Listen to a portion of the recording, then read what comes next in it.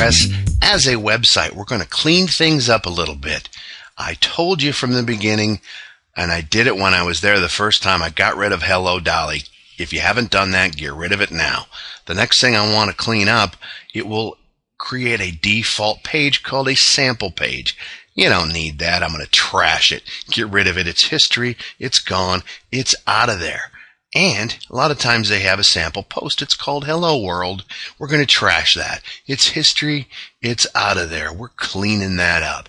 The last thing I like to do under posts, I'm going to go to categories.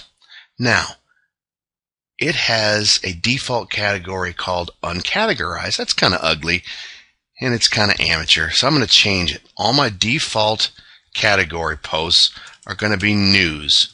I change the slug with a lowercase n for news. I leave everything the same and I click update. Very cool. Now I'm going to check the comments to make sure there's no comments found. Very good. Now we have cleaned up our WordPress blog. No default post, no default page. We've changed the category uncategorized to news. We're cooking with grease. WordPress is a website. It's coming together.